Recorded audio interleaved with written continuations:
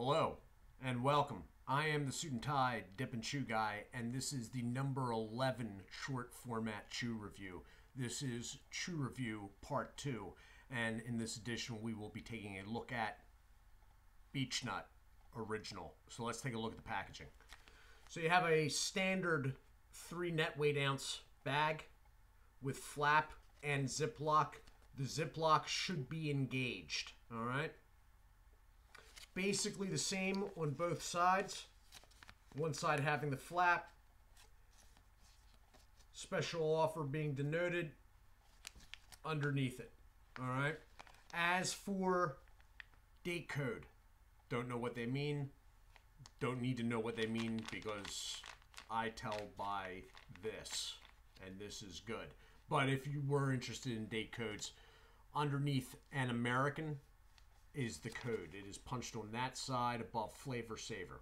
All right. So as I said, it is about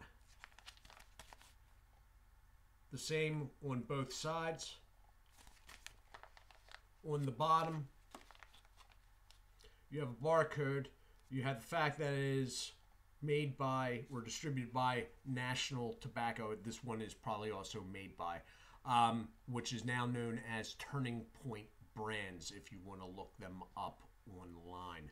Turning Point brands. Underage sale prohibited. Then you have sale only allowed in the United States and the domestic leaf count. So the domestic is no less than 56% and the foreign no more than 44%. So it's pretty even cut. Uh, that's about in line with Sish, uh, Sisher, Swisher chew products and then call number down the bottom. All right. So National Tobacco are the people that distribute Stokers. They have Beech Nut, Big Mountain, Appalachian, etc. So fold it over and we'll see how many glue dots. There's probably three and three, I'm guessing. One, two, three, and one, two, and the dot machine was the bag was a little offset, so it's three and two on this. It probably should be three and three. That said, the Ziploc is clean. It is engaged. With these, you want them engaged. Okay, it's not like a pound bag of Stoker's where the top seam is a sealed seam. All right. If the Ziploc, when this is not engaged, then only thing standing between the product and the outside air is a number of glue dots, and that's just not good enough. So, holy crap, popping it open. it's an original smell, which is what this is, as the name somewhat implies. It is an original chew. It is very dark, liberally treated. It is medium moisture. It's going to be tacky to the touch. And it is. Um, it's going to be fairly soft stuff. All right. There's going to be some blonde highlights, but it, I mean, there's a lot of translucent in between with me having it in between me and the uh, desk lamp here. It's a stringy cut, all right? There are no stems. There may be some secondary, like, leaf veins, all right? So I'm going to throw some in and then hit the pause button.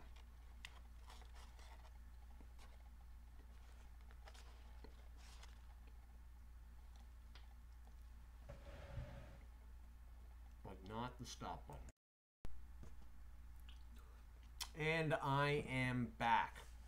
Okay, so what you have is basically a mellow original. All right. Raisins, molasses. The molasses is there, but this does not have the bite, the the edge, flavor wise, as let's say Red Man original. All right, and it's sort of meant to be that way. All right. The, if you look at old advertisements for Beech Nut, some of them actually advertise that it's sort of a mellow, smooth original chew. Okay? Uh, if you check my playlist, Commercials of Old is the name of one of the playlists. and there should be at least one surviving beech nut commercial on there. So it's not supposed to be Redman original. It's supposed to be an original, but not that. Something different, something outside of it. Now, as far as the brand, the brand predates Redman by five or six years. All right. So it's been around a long time. Now, Turning Point Brands, formerly National Tobacco, has it now. Okay. But this is one of those brand names that has switched hands many, many times.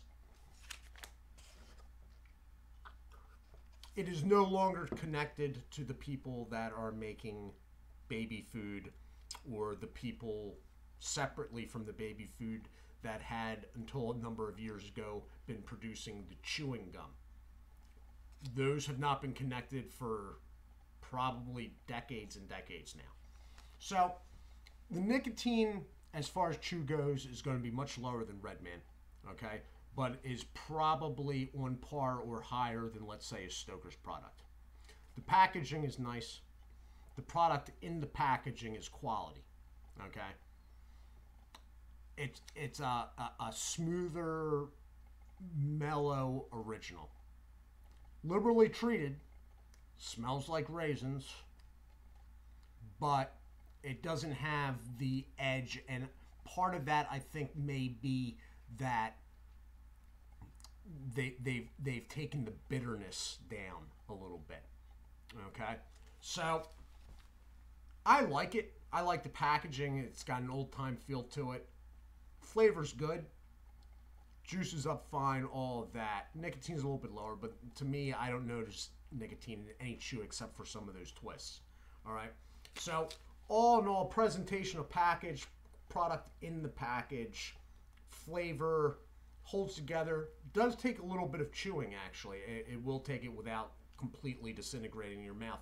That it, it's all across the board. Good marks, really. Uh, just for me, there's other things I would take before this, but I always like revisiting it. Let me put it that way.